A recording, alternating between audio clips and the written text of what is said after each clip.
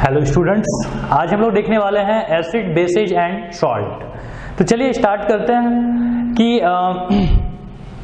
Total अभी तक known कितने एलिमेंट हमारे पास हैं? तो 115 डिफरेंट एलिमेंट्स हैं और ये 115 डिफरेंट एलिमेंट्स बहुत सारे कंपाउंड बनाते हैं और बहुत सारे कंपाउंड को अपन यहाँ पे तीन पार्ट्स में कैटेगराइज करते हैं, जिसको अपन बोलते हैं एसिड बेसिज एंड सॉल्ट तो देखिए यहाँ पे क्या किया हमने कि they can be they can form different compounds all compounds are broadly categorise in three group first one is acid second base and salts तो अब देखिए, अगर एसिड बेसिस सॉल्ट हमने कर लिया तो हम लोग पहचानेंगे कैसे?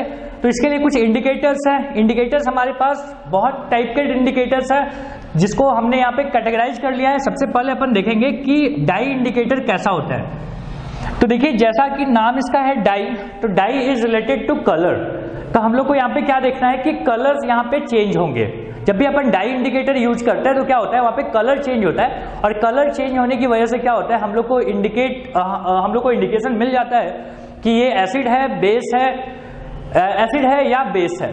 तो देखिए मोस्ट कॉमन इंडिकेटर्स हमारे पास डाई इंडिकेटर कैसे हैं तो एक है हमारे पास लिटमस दूसरा बोलते हैं मिथाइल ऑरेंज और तीसरा बोलते हैं हम लोग फेनॉल फेनेप्थलीन तो इसके बारे में हम लोग देखने वाले हैं कि कौन किस कलर में इंडिकेट करता है।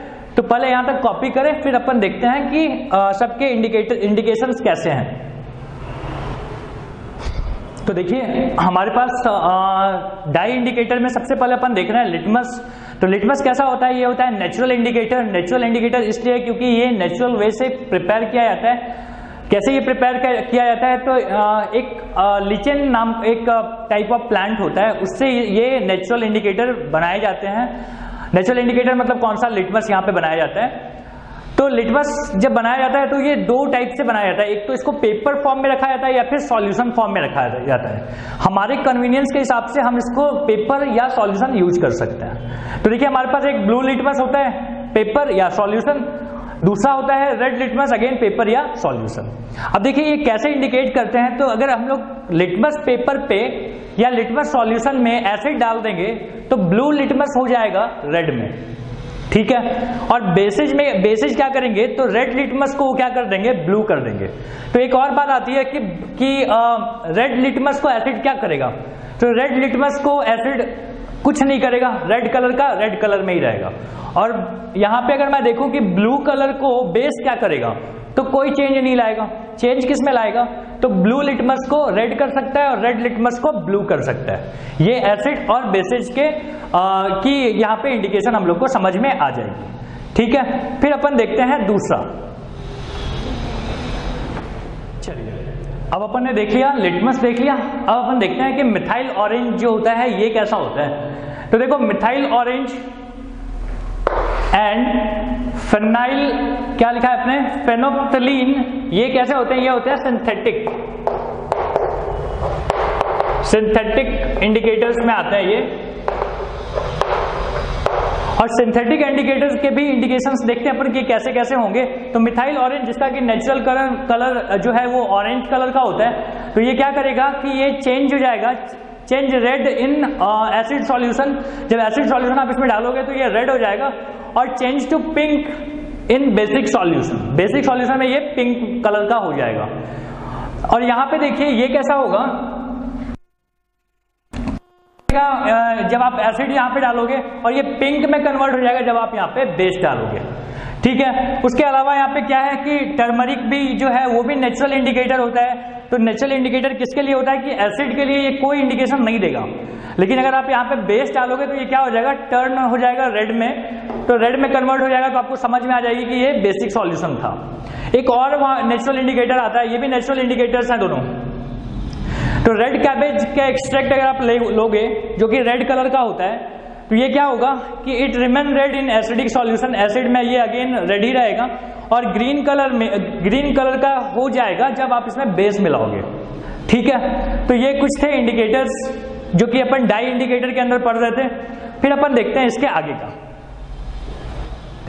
अभी जो नेक्स्ट टाइप का इंडिकेटर है, वो है olfactory indicator olfactory indicator ये क्या, कैसा होता है? तो जैसा अपन ने देखा था, वहाँ पे डाई इंडिकेटर में, वहाँ पे कलर के थ्रू इंडिकेट किया जाता था। यहाँ पे अपन देखेंगे कि ये स्मेल के थ्रू इंडिकेट किया जाता है कि ये एसिड है या बेस है।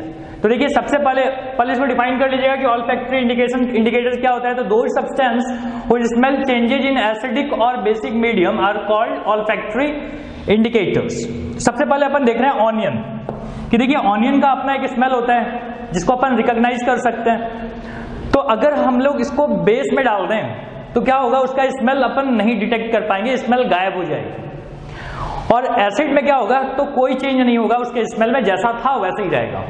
तो अपने को समझ में आ जाएगा कि अगर स्मेल बदल गया स्मेल नहीं आ रही है, इसका मतलब ये बेस था। और यहाँ पे क्या हो रहा है एसिड अगर आपने डाल दिया तो क्या होगा, उसका स्मेल चेंज नहीं होगा। ठीक है? दूसरा अपन देख रहे हैं यह है वेनीला। वेनीला का भी अपना एक क्या होता है रिकॉग्नाइजेबल स्मेल होता है। तो अगर यहाँ पे क्या करोगे कि आ, बेस अगर अपन डाल देंगे वेनिला में तो क्या होगा उसका स्मेल खत्म हो जाएगा उसका स्मेल अपन डिटेक्ट नहीं कर पाएँगे।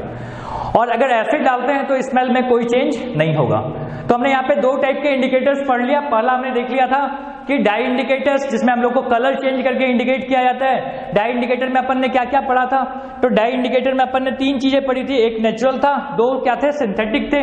सबके कलर चेंज होने से हम लोग को समझ में आ गया कि ये इंडिकेटर एसिड का है या बेस का है उसको याद रखना है। दूसरा अपन ने देख लिया कि ऑल फैक्ट्री इंडिकेटर तो ऑल फैक्ट्री इंडिकेटर में क्या होगा? तो अपने पास दो हैं। दोनों कैसे हैं? एक है ऑनियन एक है वेनीला ऑनियन का अपना रिकॉग्नाइजेबल स्मेल होता है। एसिड डाल दो। तो कोई चेंज नहीं। बेस डाल दो चेंज हो जाएगा। चेंज होके क्या होगा? तो ऑनियन का स्मेल खत्म हो जाएगा। डिटेक्ट नहीं कर पाएँगे अपन। वेनिला में भी यही होगा। ध्यान देने वाली बात यह है कि स्मेल हमेशा किसका चेंज होता है? क्या डालने से चेंज होता है? बेस डालने से चेंज होता है। और इन दोनों में कोई चेंज नहीं होता है। तो no change no change in acid याद रहेगा? चेंज हमेशा किसमें होगा? बेस डालने से चेंज होगा। ठीक है? तो यहाँ तक अपन ने देख लिया। हम लोग इंडिकेटर खत्म किए? ओके